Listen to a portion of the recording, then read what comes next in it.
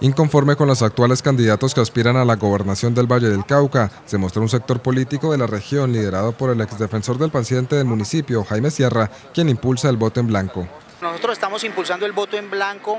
porque consideramos que la crisis del Valle del Cauca, que es una crisis histórica, eh, no puede soslayarse. Creemos que, tenemos, creemos que debemos ir a la raíz del problema del Valle del Cauca. Y la forma como se planteó la mesa de unidad nacional y la forma como se plantea el candidato del continuismo, que vienen de dos destituciones, no son garantía para que salgamos de la crisis. Según Sierra, el voto en blanco es el único instrumento democrático con el que cuentan los vallecaucanos para rechazar las mafias y la corrupción que se han apoderado del departamento. Nosotros creemos que ese tipo de acuerdos que no se enmarcan dentro de un pacto ciudadano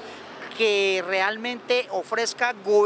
gobernabilidad en serio, en serio, sino desde un reparto burocrático del departamento del Valle del Cauca, lo que hace es profundizar la crisis porque es volver pequeñas fincas, la administración del Valle del Cauca, repartírsela a los diferentes partidos. Los promotores del voto en blanco, que pertenecen en su mayoría al movimiento político progresistas, que fue creado en Bogotá por el alcalde Gustavo Petro, están a la espera de una acción de tutela con la que se pretende aplazar un mes más las elecciones atípicas. Nosotros eh, eh, nos vimos en la obligación de impetrar esta acción de tutela para que por vía del juez constitucional se respete el derecho de los ciudadanos de participar en estas elecciones atípicas de manera libre, de manera democrática y que no se circunscriba solamente a aquellos partidos que tienen personería jurídica. El voto en blanco es una herramienta de resistencia democrática, calificado también como una expresión política y ciudadana de inconformidad.